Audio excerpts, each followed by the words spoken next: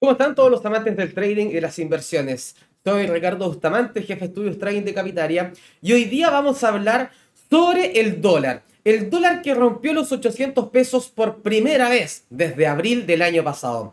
¿Cuáles son los fundamentos de esta gran caída que ha mostrado? ¿Qué debería suceder en las próximas semanas? Todo esto y mucho más en este video. Comencemos inmediatamente eh, viendo lo que ha sucedido con el dólar. Y acá les muestro lo que son las transacciones de la Bolsa Electrónica de Santiago. Em, perdón, Bolsa Electrónica de Chile. ¿Por qué es importante? Por lo siguiente. Más de 2 mil millones de dólares se transaron durante el martes, cuando rompió esos 800 pesos. El día anterior se habían transado menos de 1.400 eh, millones de dólares. Estamos hablando de dos tercios lo que se transó durante el martes, donde es muy, muy probable, eh, lamentablemente esa información no es abierta a público de forma inmediata, de que haya venido una venta importante por parte de, em, instituciones grandes en el país. Situación que por supuesto puede haber generado esa mayor caída. Vamos a ver qué ha estado sucediendo. Esta es la evolución del dólar, donde se puede apreciar eh, precisamente esta gran caída que ha mostrado, llegando hasta los em, hasta niveles bien cercanos a los 798 eh, pesos. ¿Cuándo había eh, roto los 800 pesos por última vez? Precisamente el 13 de abril del año pasado, que durante el día había eh, generado esa ruptura de los 800 pesos. Tendencia bajista innegable, eh, se puede apreciar perfectamente cómo viene esta, esta gran caída con una tendencia y con, una con la tendencia bajista y con una directriz.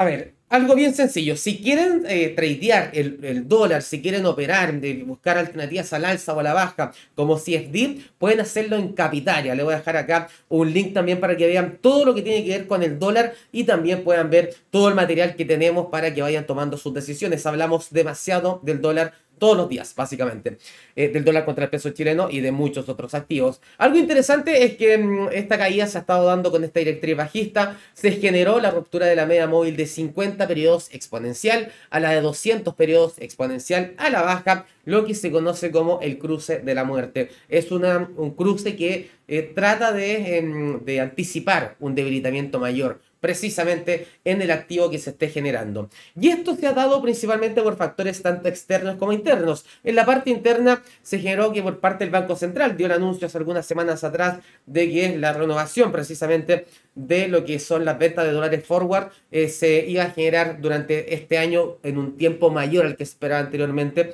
lo que genera expectativas de mayor cantidad de dólares circulando, 6 más dólares circulando y un exceso de oferta de dólares, y si se genera un exceso de oferta de dólares, el dólar cae. Y esa situación, por supuesto, que ha sido bastante importante pensando en la parte local. En el plano externo, hemos visto, por ejemplo, el cobre. Un cobre que, eh, después de fuertes caídas que tuvo durante mediados del año pasado, ha recuperado con fuerza y ha alcanzado máximos no vistos en mucho tiempo. Por ejemplo, se puede apreciar estos máximos no vistos desde junio, desde mediados del año pasado, que lo alcanzó hace pocos días atrás, es cerca de los 4,35 dólares la libra. Eh, y este impulso del cobre eh, viene dado principalmente después de la reapertura de China. Se esperaba que China tuviera esta reapertura el 8 de enero, eh, donde volvería ya con medidas no tan agresivas con respecto al COVID-19, que tuvo durante tres años estas medidas muy restrictivas para las personas, para las empresas y obviamente generó una gran distorsión. Al liberarse estas restricciones, se generan expectativas de que China va a demandar más cobre. China es el principal demandante de cobre del mundo, más del 50% del cobre lo demanda China en términos de las importaciones a nivel mundial. Por lo tanto, es una situación en que a medida que China esté bien, se genera un mayor impulso del cobre. Y China además ha mostrado buenos datos económicos, mostró cifras de producción industrial, de ventas minoristas, de eh, la inversión en activos fijos, de Producto Interno Bruto, que superaron las expectativas en, sus últimas, eh, en los últimos datos. No, no, fueron buenos números, no fueron números eh, grandiosos para la economía china, a lo que nos tenía acostumbrados especialmente entre el año 2000 y 2010. Fueron números más bien que comparativamente se ven bajos, pero las expectativas estaban mucho más bajas de los datos que conocimos y esto genera obviamente optimismo con respecto a la economía china. Y se debería mantener ese entusiasmo a medida de que China em, eh, siga con esto, se sigan conociendo datos positivos. De todas maneras, hay que estar atentos porque se podría dar algún impulso adicional. No me extrañaría alguna eventual corrección de todas maneras después de un gran avance que ha tenido el precio del metal rojo. Eh, corrección hasta los 9,1 eh, dólares eh, aproximadamente, 9,10 dólares aproximadamente, sería bastante razonable en el corto plazo, un nivel de soporte interesante, eh, donde se podría buscar posiciones compradoras para quienes les guste, obviamente, tradear al cobre. Lo importante es que a medida de que China mantenga un dinamismo, obviamente que las expectativas van a apuntar precisamente que el precio del cobre debería continuar subiendo. ¿Y cómo afecta eso al dólar contra el peso chileno? Que a medida de que sube el dólar, el, cobre, eh, las expectativas apuntan de que van a ingresar más dólares a Chile y se genera el mismo efecto comentado anteriormente. Hay un exceso de oferta de dólares circulando, eso implica claramente de que la cotización del dólar baje.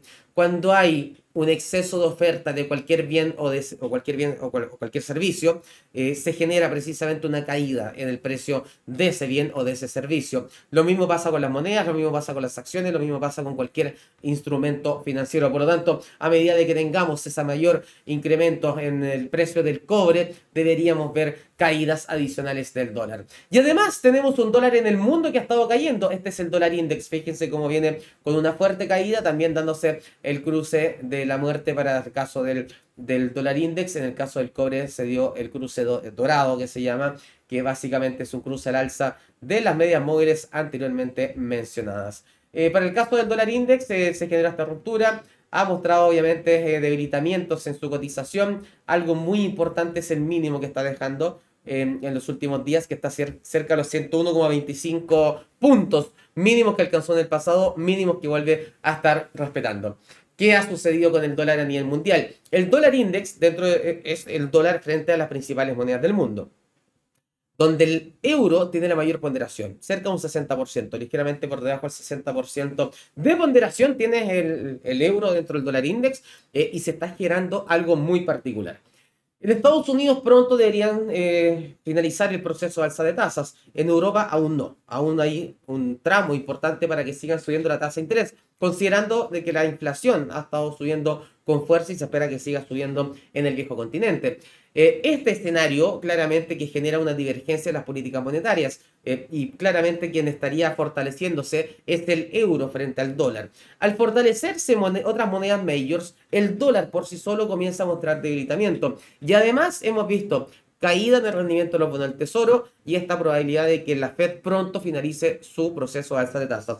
Todo esto bajista para el dólar a nivel internacional. Y se podría seguir dando, si rompe los 101,25 puntos, podría ir a buscar los, eh, los, 100 puntos como nivel eh, psicológico, los 99,70, 99,45 e incluso, porque no los que son 97,70, quizás con menor probabilidad.